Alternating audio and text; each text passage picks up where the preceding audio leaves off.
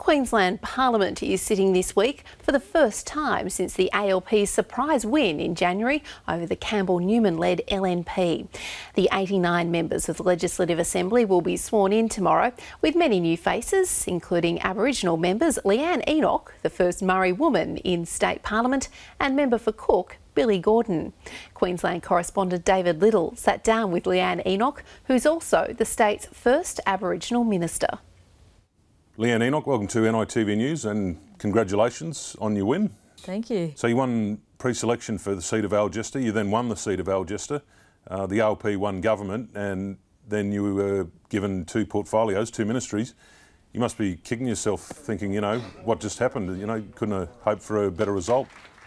Well, I mean, obviously it's incredible. There was uh, a moment there in those couple of weeks where it just felt like, you know, we were making history every day. So, uh, you know, huge attention around that, of course. Um, and yes, a big heaps of heaps of workload, and you know, it's a it's a huge portfolio or set of portfolios that I have. Um, but I've kind of taken the attitude of, yeah, look, it's big, you know, uh, there's lots to do, but let it be all that, and I'll just turn up every day and face it you're at the Bunbury Touch Football competition on the weekend and speaking to the players, the young students there, and telling them, you know, if they stay with their studies, they could one day end up in Parliament themselves. Why is it important for Aboriginal people to be in Parliament? Our perspectives, Aboriginal and Torres Strait Islander people's perspectives, are incredibly important um, to any Parliament to be able to have that diversity, to have those perspectives um, embraced um, so that we can have policies, um, and uh, you know procedures and practices that are better for all. And look, the other thing is that obviously there's an extra responsibility when you're the first at something. You need to find ways to open the door as wide as possible to get as many more people uh, through that door. So one of your ministries is science and innovation, and Queensland's probably best known for mining, Bundaberg rum, pineapples, mangoes. Um, how's Queensland looking on, in the science and innovation area? One of the exciting things about being the Minister for Science and Innovation is that uh, we get to talk about the future, and that is incredibly exciting.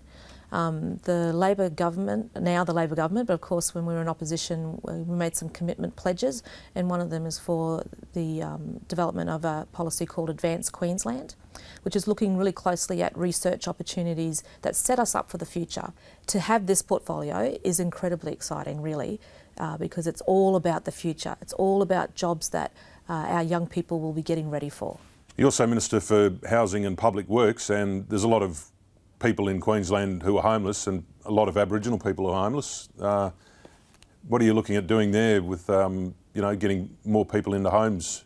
One of the things that I'm very clear about, that I have a strong vision about, and that is to return the Department of Housing and Public Works, well, the housing component in particular, um, to its natural and rightful place as a human service, as a social service, so that we're not just thinking about the bricks and mortars and the roof over somebody's head, um, but we're thinking about more than that, all that that means. And we want to be able to put the support services around um, individuals so that they can do all of those things, um, that they can find a job and keep a job, that they can get their kids to school, and that they can feel safe um, in their own um, dwellings, you know, in their own places of accommodation.